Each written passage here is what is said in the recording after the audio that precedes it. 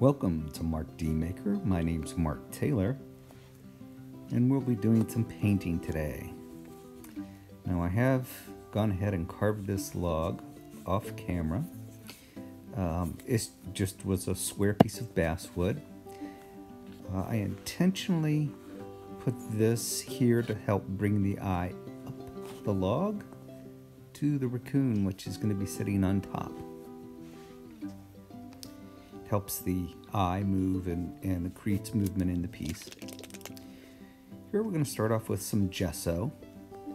Well, gesso is a, I believe it is a rabbit hide glue with, um, I, am not sure what is it, like a, a, like a talc or like a, um, ground marble or something in it. It gives it tooth. I put water in it. You can see how thin it is. And that jar I held up was a flow medium that just helps the paint flow smoother onto whatever you're painting. Here I'm covering the, the whole dog with this if you remember, I inserted this tail, which would make it a little tricky to use uh, a staining process. You'd see where I used a little bit of plastic wood around the tail because it'll stain at a different rate than the basswood would. So, I'm giving it a coat of gesso, plus the dog is white anyway and I use gesso as white. I don't use white paint.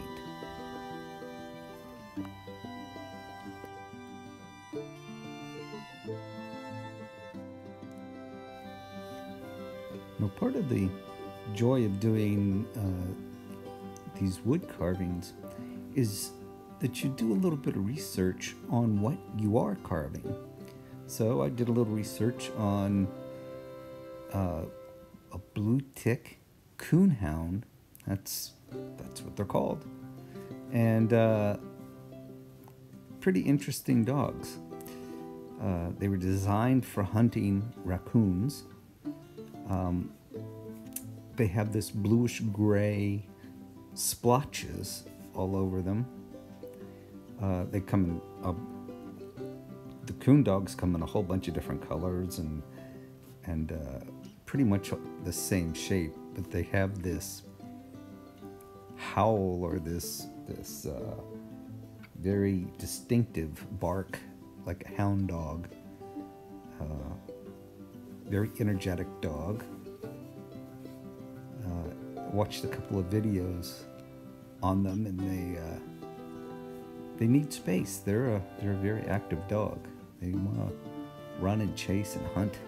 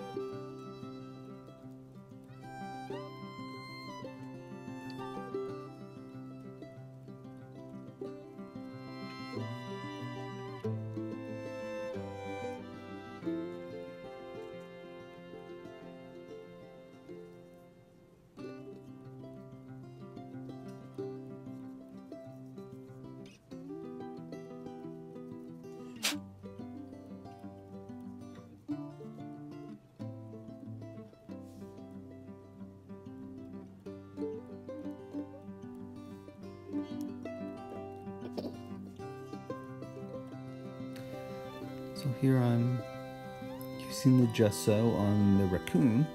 And what you could do here in, instead of white, uh, really the underlying coat of a raccoon is, is uh, either a black or a dark gray.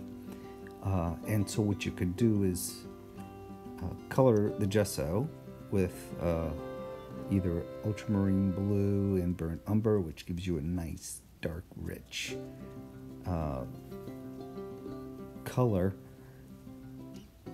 and uh, add a little bit of uh, the gouache to it, and that would be your undercoat. Uh, but it's just an, an, extra, one extra step for me to uh, put the color on and then uh, start doing dry brushing on it. I'll show you uh, some dry brush technique to try to simulate the fur.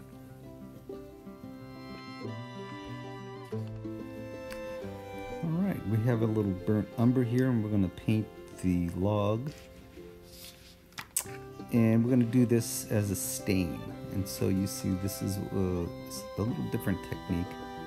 We'll water down the paint to like a stained water.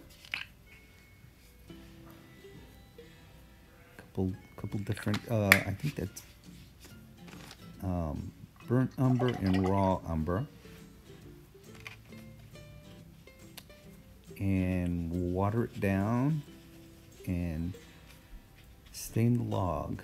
We won't touch the top, I'll leave that natural wood color. But you can see adding quite a bit of water to it. Really soupy.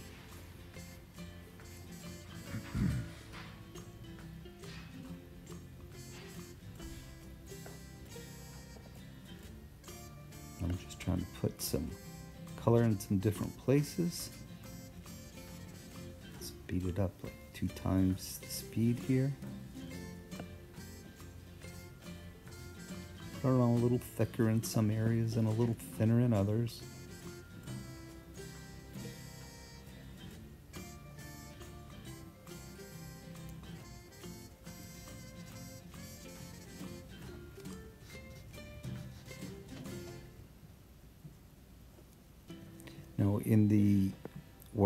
The the crack that goes from the ground up to uh, the top of the log, I'm going to add a little burnt umber in there, a little bit more condensed, strong, and that darkness will make that crease look deeper and, and pull your eye up the log to the raccoon. The raccoon's looking down, so it'll pull your eye down to the dog. And, and that's kind of like a, a composition.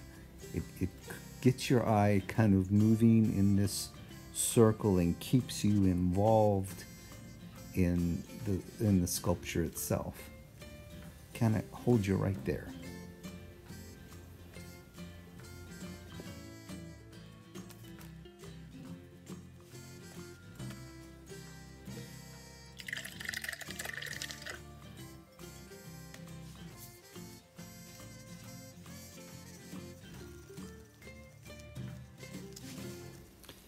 All right, we're mixing up a gray here. This is just black and white, but it does give a nice, cool blue-gray color, which is going to be a pretty dominant color on the dog. And so I'm going to use that as an undercolor for the raccoon to uh, keep the whole color scheme kind of similar and make it look like these two pieces belong together. We're covering the whole thing. This is going to be the under painting of it. And this color is also going to, I might blue it up just a touch for the, uh, for the hound dog.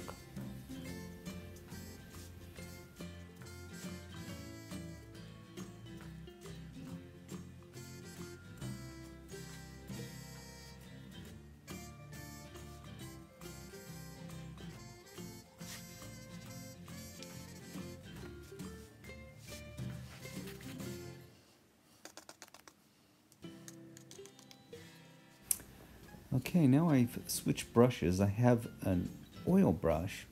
Now, the oil brushes are made out of um, hog hair. Is really they're really stiff, bristled brushes, um, and and you can just drive those bristles just straight in in a stipple motion, uh, to get these little patchy marks, these little splotches that's typical of the hound dog. And, and there's going to be a lot of layers that go over that of washes of color. Um, but this is is the probably the easiest way I know to achieve that. I literally have a picture of a uh, hound dog just off the camera there, and I'm constantly looking at it. I've this is the first time I've painted uh, a hound dog before, so and a raccoon actually. so I have pictures of these little guys just off screen, and I'm constantly looking at them and trying to figure out how am I going to achieve that look. Um, and and most of the time it's through layering of paint. Um, because that's what I know. That's how I when I do a, a songbird carving and I'm trying to achieve a color or a look, I'm putting layers of paint on, usually thin layers of paint on.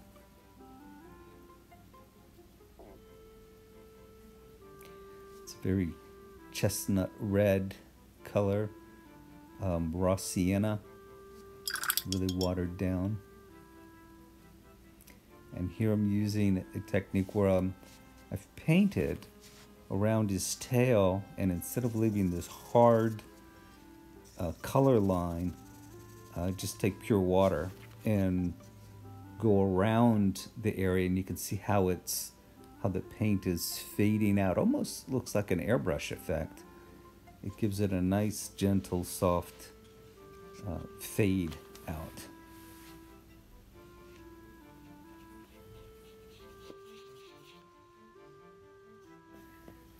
little burnt umber here for the ears. It is watered down quite a bit. As you can see that it is somewhat transparent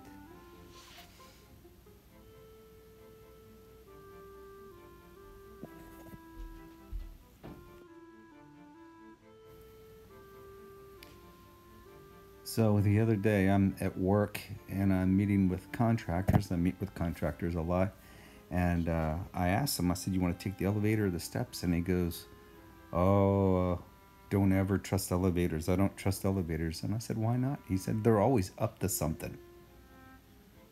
Oh man, is that a dad joke or what?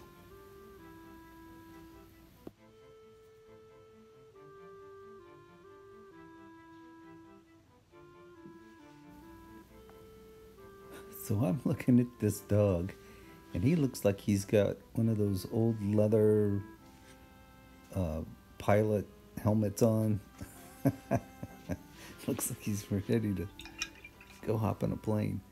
I'll have to do something just a little different with that.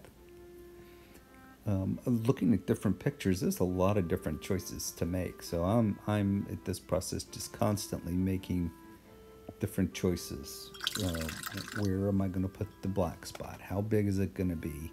Um, they have all the dogs. None of them look the same as far as uh, all the pictures I have of the blue tick hound dog. But uh, this is pretty representational of them. I think it's uh, pretty decent.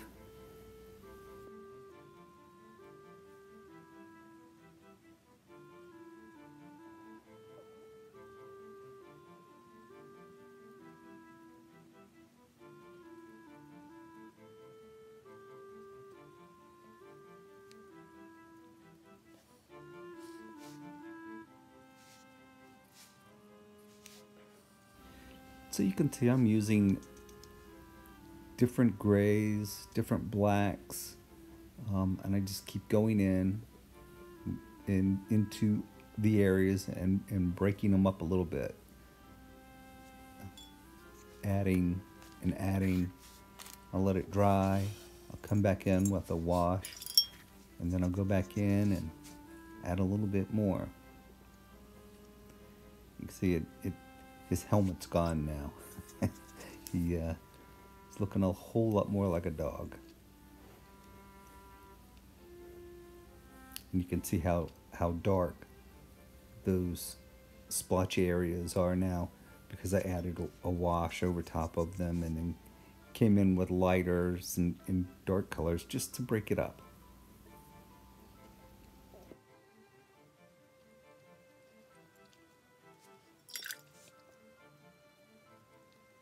And right there, I'm just using clear water to make this area transition a little better so it's not a, just a, a hard line. So part of your paint has to be wet. You create your, your hard line and then you come with water. And just on the outside of where that wet paint is, you put that water and, uh, and then you merge the two and you let that uh, fading happen. here I'm using a dry brush technique. And what I'm trying to do is show the underlayer of fur.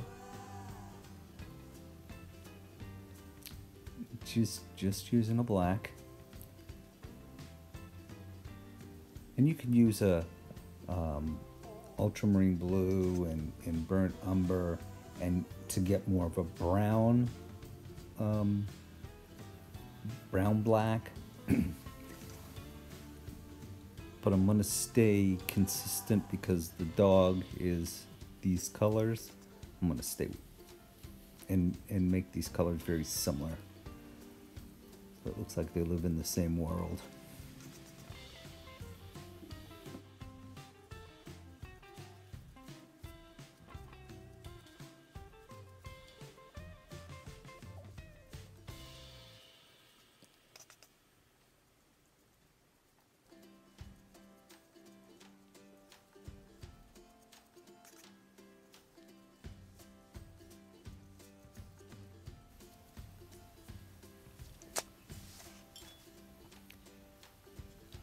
Now you can see there are some big areas of, of dark color that, see that patch right there? There's some big areas that are, are really kind of too dark, don't look like fur. I will go back in with another color over top of those, break them up, and it'll look much more natural. the hound dog's got this reddish light kind of uh, reddish kind of color here above.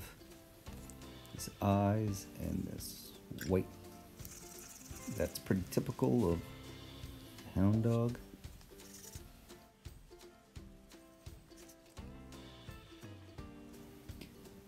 Just adding a slight bit of color onto the muzzle there. And I'll do the same with the feet and his paws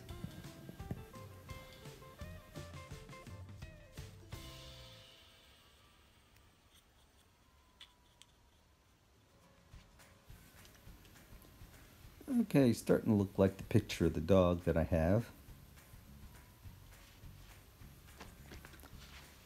Now we'll go and move on to a little bit more dry brushing. Coming in with a lighter color. This is the white. You see how I, when I pick the paint up on the brush, I actually wipe it off before I actually bring it up so I don't get any big glob or an oversaturation of paint.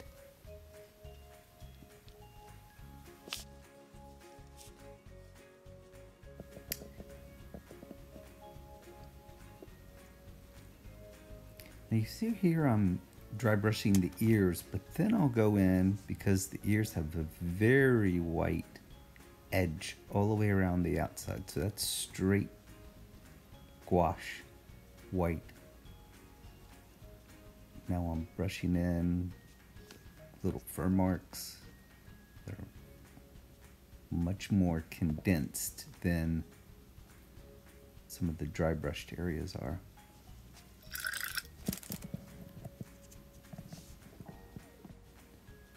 And don't let me confuse you by using the word gesso or gouache. It's the same stuff.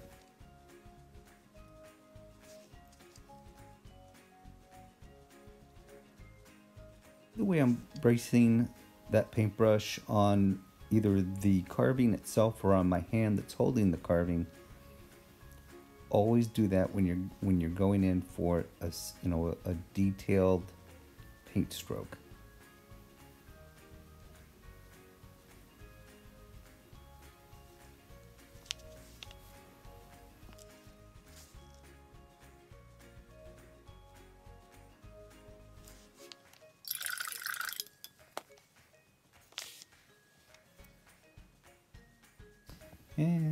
And the very recognizable striped tail of a raccoon. Did you notice I'm I'm using the stippling method again? It it just comes across more like uh, fur that way. And I'll still come across the top of it and break it up with other colors. Here I'm coming in with a little bit more dry brushing. Trying to avoid too too big of a glob of or dark patches anywhere. I'm just trying to make it look like fur. This dry brush technique. And I'll come back over it again with a lighter color and do the same thing.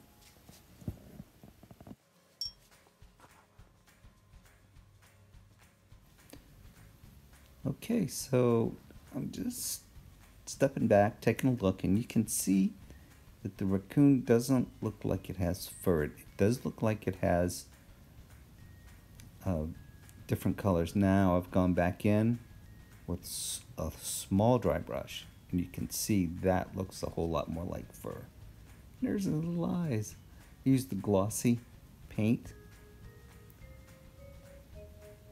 and uh, I think it came out pretty good. So we'll have him sitting up here and looking down at the dog. How the dog is. I could probably do a lot more work on him, but I'm satisfied the way he is. Let's call him done. Alright, this is what we're looking like. We got our raccoon and hound dog. Oh, and, and by the way, look at this. This is my OCC knife. I just stropped out the two chips I had, one up here and one here, and I get another one. I don't know what's happening to this knife. I haven't used it that much. I'm just, this one seems to be fine. Yeah, I don't know. I've been I've been carving a long time and I've never had that happen before. Anywho, we're done with the uh, hound dog and the raccoon, and now I get to go paint something for Jordy from Carbon Fusion. Oh, he's got something headed his way. Thanks for watching. Hope the video was helpful. Please like, share, subscribe. I'll see you next time.